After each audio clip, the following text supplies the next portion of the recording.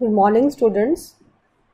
Today we will do the next topic in this unit that is the reproductive health.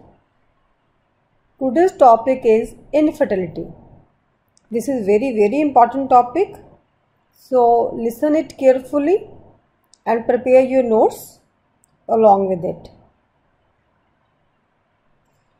Now, first of all, what is infertility?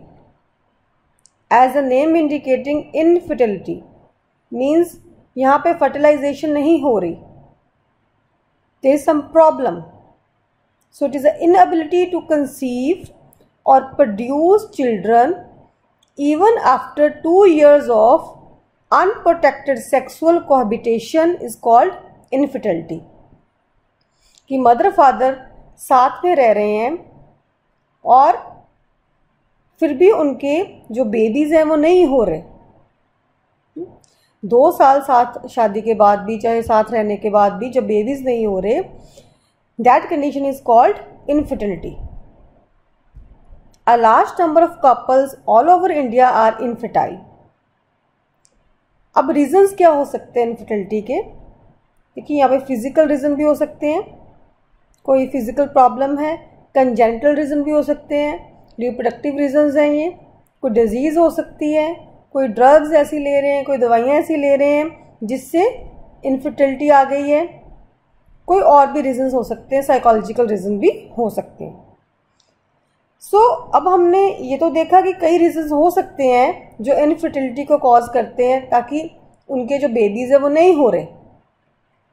They are not going to be parents पर बेटा, अब हमने यहाँ पे क्या करना है? जो इम्पोर्टेंट हमारी जो बात है, यहाँ पे हम बात कर रहे हैं कि how we can assist them कि जो पेरेंट्स बच्चे प्रोड्यूस नहीं कर रहे साइंस की हेल्प से क्या टेक्नोलॉजीज़ हैं जो उनको हेल्प करेंगी to have the babies so ये जो टेक्नोलॉजी है, इनको कहते हैं हम बेटा आर्ट ये अपने नाम याद रखना है ART ART means assisted reproductive technologies कि हम उनको रिप्रोडक्शन में हेल्प कर रहे हैं। कुछ ऐसी टेक्निक्स हैं हमारे पास जो उनको हेल्प करेंगी to produce the babies so, these techniques are called ART assisted reproductive technologies. Right? So, इसमें क्या है? It includes all the fertility symptoms जिसमें स्पर्म्स और एग्स को हैंडल किया जाता है। अब ये बहुत तरह की हैं।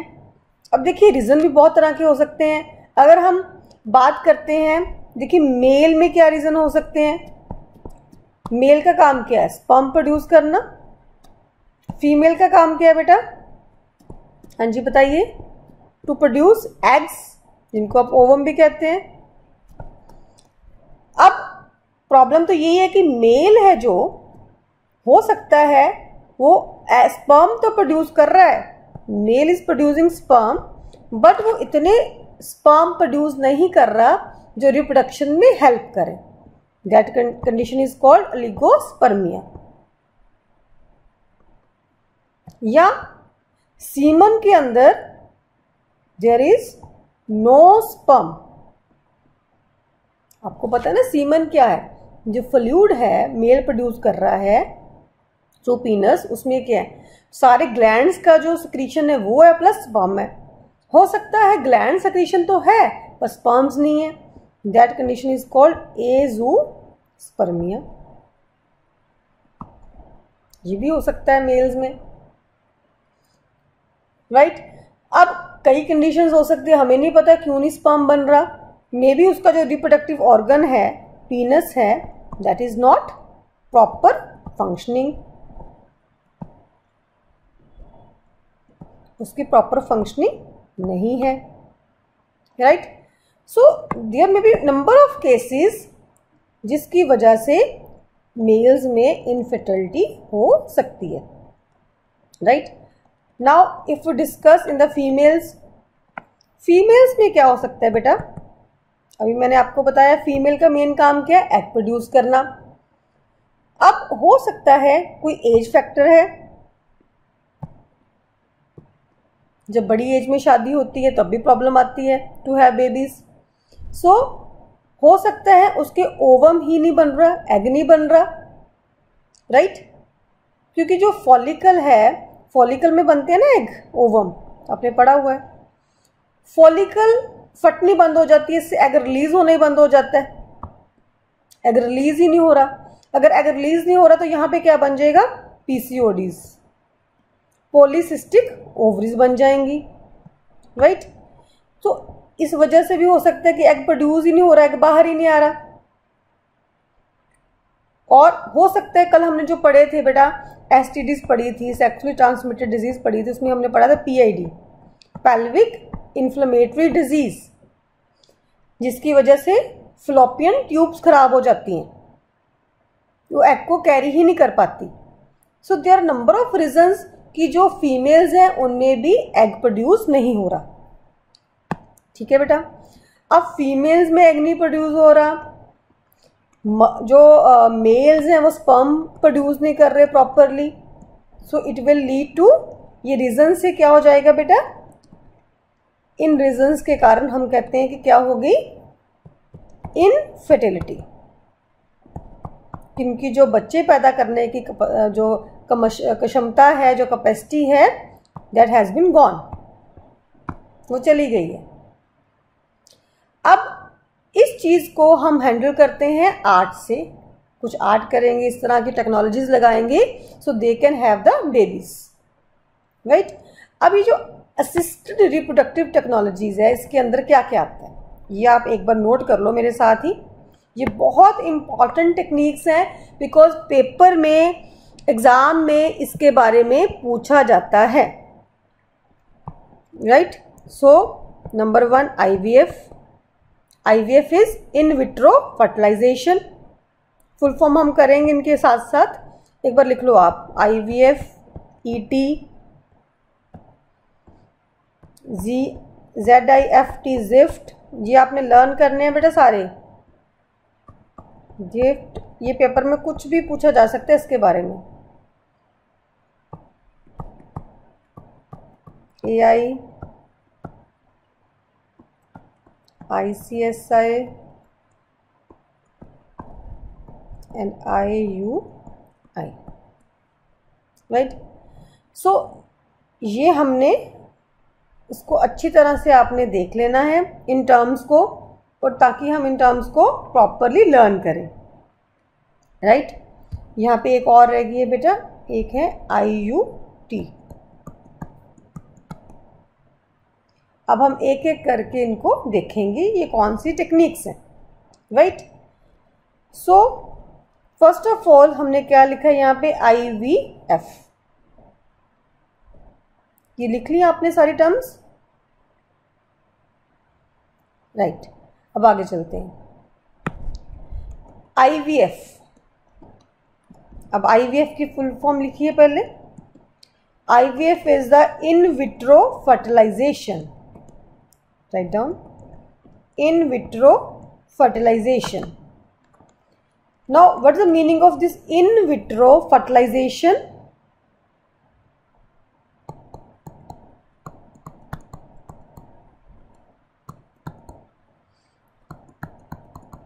fertilization का मीनिंग तो आपको पता है। In vitro means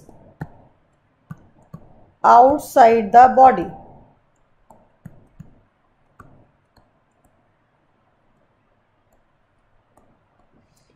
outside the body what is this outside the body अब इसमें क्या होता है बेटा? मेल के स्पर्म लिए जाते हैं। सीमन ले, लिया जाता है मेल का। राइट? और दूसरी साइड पे हम क्या ले लेंगे? पैट्री डिश में एग ले लेंगे। फीमेल से। मदर से एग ले लिया और फादर से स्पम्स दोनों को हमने बाहर फर्टिलाइज करवाना है। आउटसाइड द बॉडी बॉडी के अंदर फर्टिलाइजेशन नहीं हो रही, बाहर हो रही है बॉडी के फर्टिलाइजेशन राइट सो जब बाहर फर्टिलाइजेशन हो जाएगी, बाहर क्या बन जाएगा? एम्ब्रियो बन जाएगा। उसके बाद ये जो एम्ब्रियो बना है, ये जो जायगॉट बना है बेटा, इसको ट्रांसफ़र कर देंगे मदर की बॉडी के अंदर। इसका मतलब क्या हुआ? जो फर्टिलाइजेशन हुई है वो कहाँ पे हुई है? बाहर लैब में हुई है। इसलिए इसको कहते हैं इन विट्रो फर्टिलाइजेशन आपने बेटा, सुना होगा, बहुत ही कॉमन टर्म है। टीवी में पेपर में आप पढ़ते हो, सुनते हो। क्या है वो term that is the test tube babies. सुनिए ना ये टर्म। टेस्ट ट्यूब बेबी, यही है बेटा in vitro fertilization. Test tube baby जिससे बनते हैं। कि हमने स्पर्म को भी बाहर ले लिया, एग को भी बाहर ले लिया और उन दोनों को फर्टिलाइज करवा दिया लेबोरेटरी के अंदर। So that is called in vitro fertilization उसके बाद जो एम्ब्रियो बना है बाहर, उसको हमने मदर की बॉडी के अंदर ट्रांसफ़र कर दिया। That is called ET embryo transfer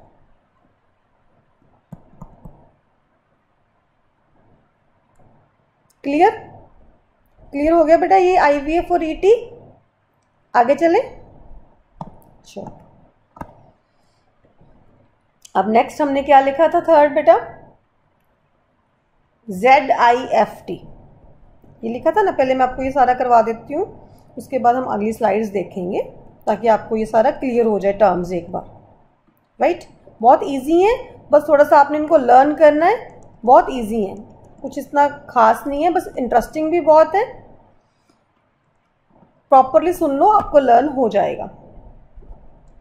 Z I F T अब क्या हुआ? अभी मैंने आपको बताया कि हमने बाहर स्पर्म ले लिया, बाहर ही हमने क्या लिया? एग ले लिए। दोनों को फर्टिलाइज करवा दिया। और उसके बाद बेटा क्या हुआ? फर्टिलाइजेशन के बाद क्या हुआ? क्या बनता है आपको पता है? जब एग और स्पर्म दोनों मिलते हैं तो क्या बनता है? हाँ जी जायगोड बन गया। जायगोड ही बनता है ना बेटा? हाँ जी। सो so, अब जब जो जायगोड बन गया बाहर उस जाइगोड को हमने क्या करा बेटा? हमने उस जाइगोड को ट्रांसफ़र कर दिया। जाइगोड क्या है? Zygote is called early embryo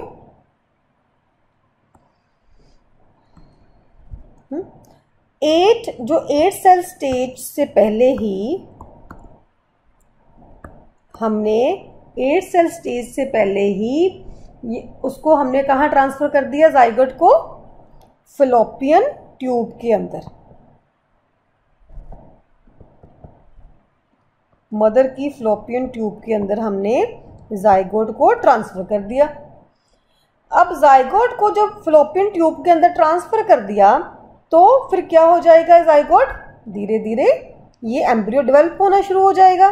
तो अपने आप ये फ्लोपियन ट्यूब के बाद यूट्रस में इम्प्लांट हो जाएगा। सो so, अब इस टेक्निक को क्या कहते हैं? जायगोट इंट्राफ्लोपियन ट्रांसफ़र क्लियर हो गया बेटा? जायगोट को फ्लोपियन ट्यूब के अंदर हमने ट्रांसफ़र कर दिया तो उसका फुल फॉर्म क्या बन गई? Zygote intra fallopian transfer. Simple. Clear हो गया बेटा? इसको कहते हैं Z I F T okay?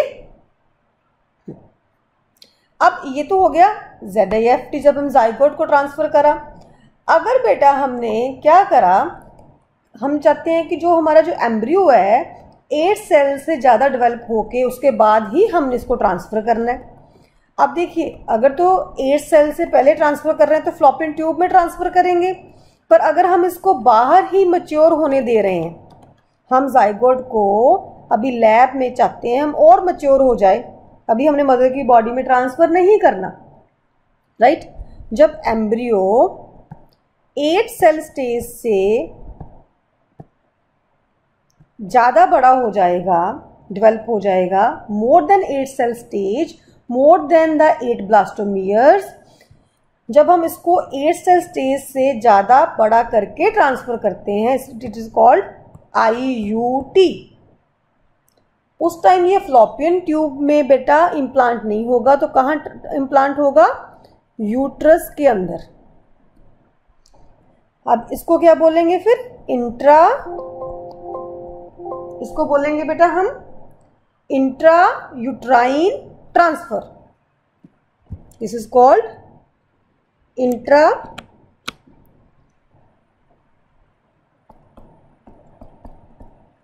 uterine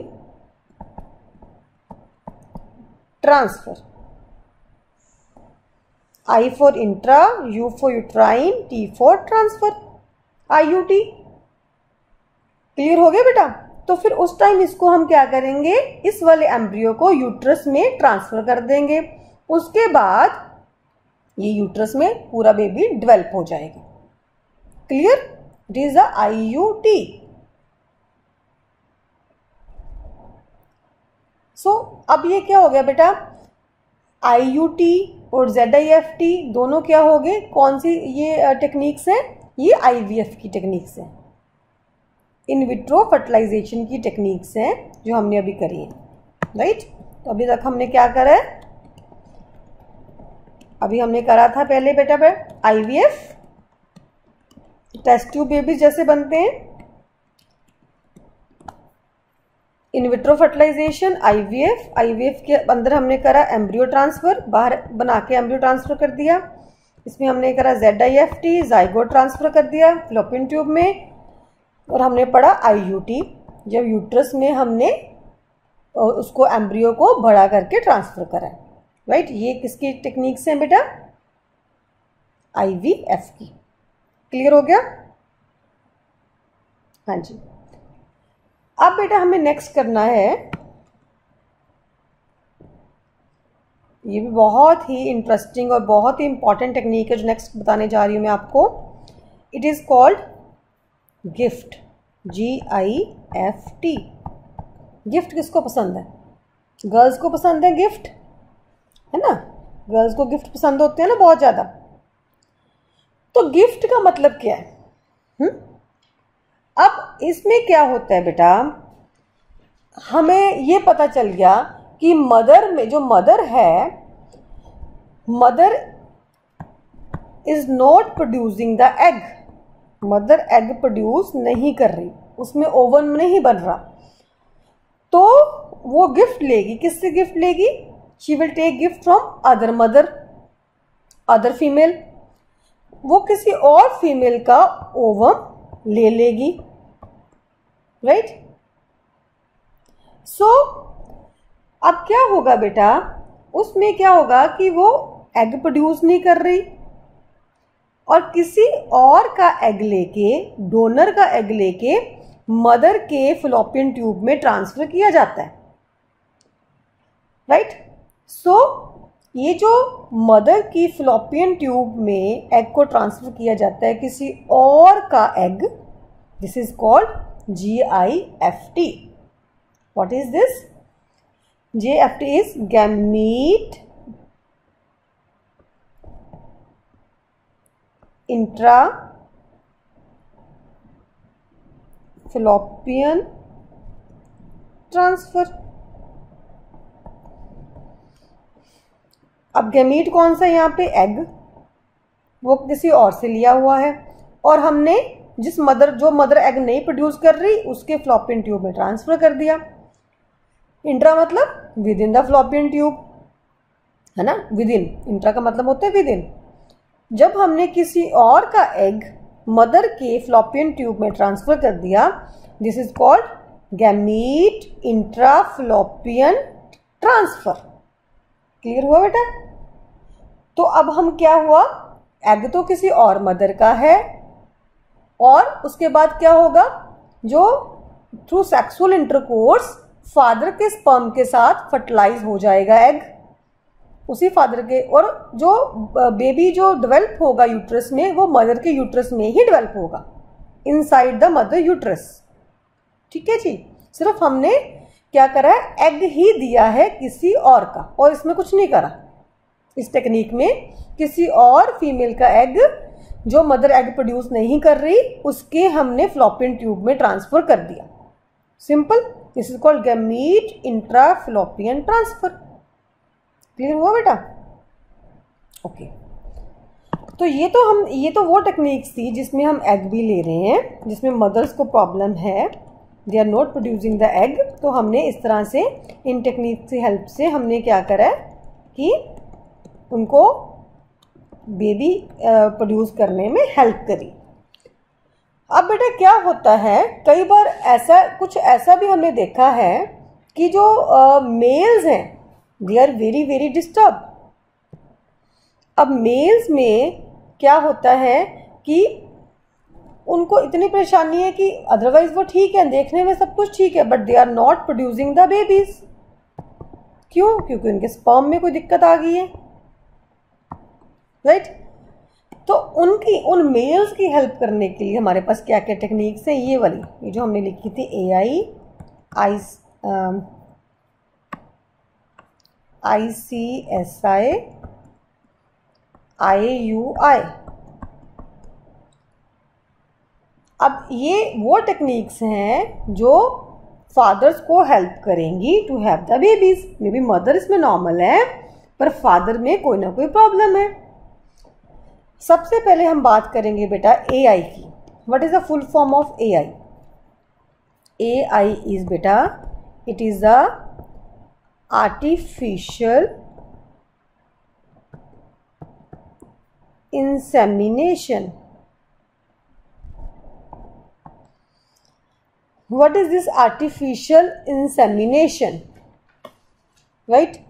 अब आर्टिफिशियल इंसेमिनेशन में क्या होता है?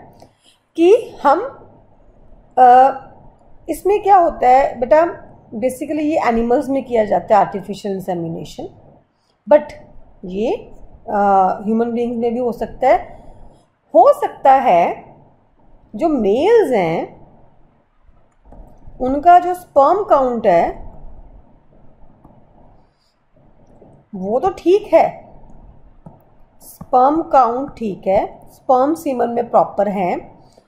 बट एरेक्शन नहीं हो रही, जो स्पर्म है, वो पीनस के थ्रू बाहर नहीं प्रॉपरली आ रहा राइट right? तो क्या करेंगे? तो जो वो फादर हैं, उनके स्पर्म बाहर ले लेंगे। एक ट्यूब में स्पर्म ले लिया।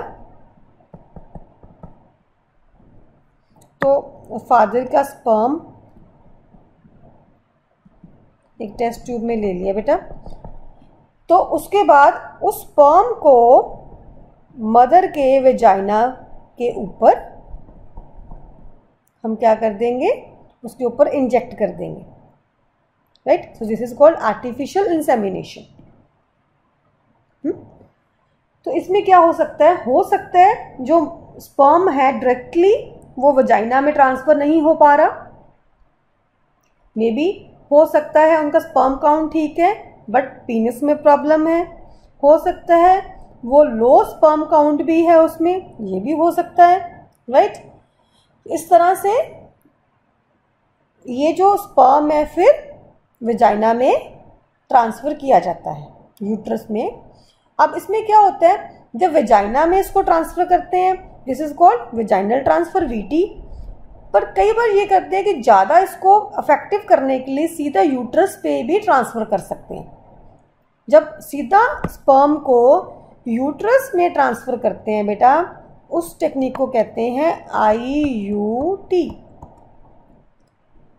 intra uterine insemination.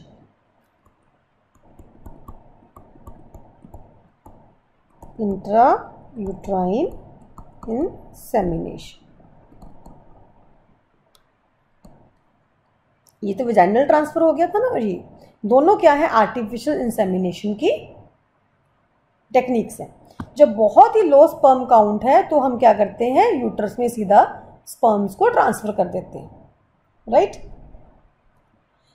अब ये देखिए, ये तो हो गए आर्टिफिशियल इंसेमिनेशन की कैटेगरीज की टाइप्स आगे हमने करना है बेटा, बहुत ही इंपॉर्टेंट टर्म है दैट इज़ आई अब पेपर में किसी भी टर्म पे क्वेश्चन ये तो आना ही आना है। This is very very important terms this all terms are very very important तो आप इनको सबको अच्छी तरह लिख के लर्न करना है प्रॉपरली राइट right? यहाँ पे कोई प्रॉब्लम होएगी यू कैन आस्क मी आप इनको साथ के साथ कैरी डाल देना आई विल आंसर इट अब आगे है I C S I what is I C S I बेटा, अब कई बार क्या होता है? बहुत ही ओल्ड एज में शादी होती है मेल्स की, है ना? उनके जो स्पर्म है, उनकी जो फर्टिलाइजिंग कैपेसिटी है, वो ही ख़त्म होगी। फर्टिलाइजिंग कैपेसिटी मतलब वो ओवम को पेनिट्रेट ही नहीं कर पा रहा स्पर्म स्पर्म ओवम के अंदर ही नहीं घुस पा रहा। उसको पेनिट्रेट नहीं कर पा रहा। उसको फर्टिलाइज करने की उसकी कैपेसिटी ख़त्म हो गई है। मे बी जो मेल्स हैं, वो ओल्ड एज हैं। राइट अब उसमें हम क्या करेंगे बेटा? उस टेक्निक में हम क्या करेंगे? उसमें जो स्पर्म है, जो मेल पार्टनर है, उसका जो स्पर्म है, वो हम ले लेंगे। राइट और फीमेल का क्या ले लेंगे? एग ले लेंगे।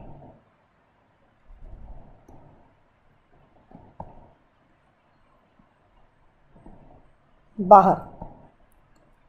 राइट तो उसमें बेटा हम क्या करेंगे? अब जो फीमेल का एग लिया हुआ है बेटा,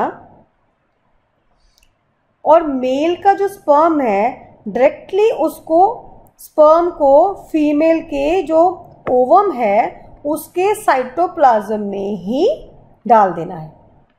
Right in the cytoplasm of the of egg जो फीमेल की एगली है, उसके ही साइटोप्लाज्म में उसको डाल दिया। जब साइटोप्लाज्म में सीधा स्पर्म को इंजेक्ट कर दिया, इस टेक्निक को कहते हैं बेटा, इस टेक्निक को कहते हैं बेटा I for intra cytoplasmic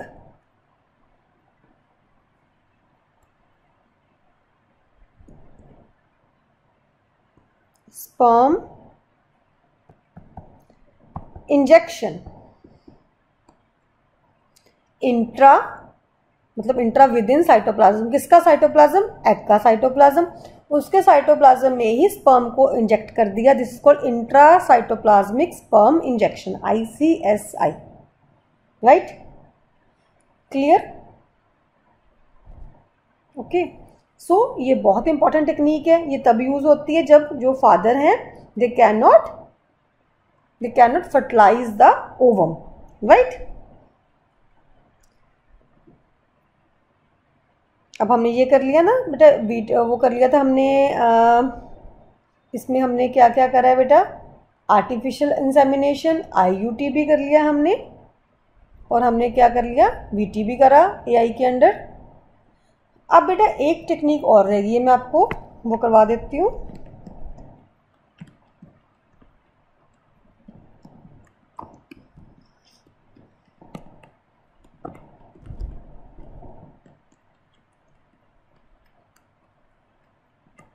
बेटा एक बार क्वेश्चन आ जाता है पेपर में, कई बार ये क्वेश्चन आ जाता है।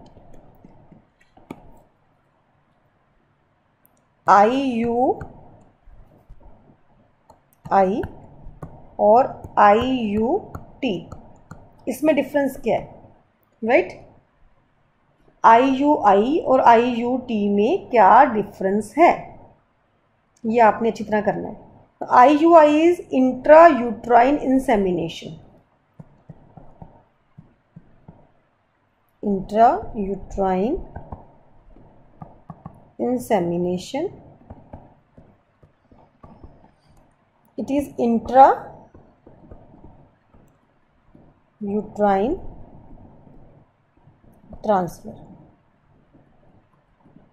इसमें क्या करते हैं? एम्ब्रियो बाहर बन रहा है और उसको यूट्रस के अंदर ट्रांसफ़र कर रहे हैं आईयूटी में। आईयूआई में यूट्रस के ऊपर ही सीधा स्पर्म को डाला जाता है।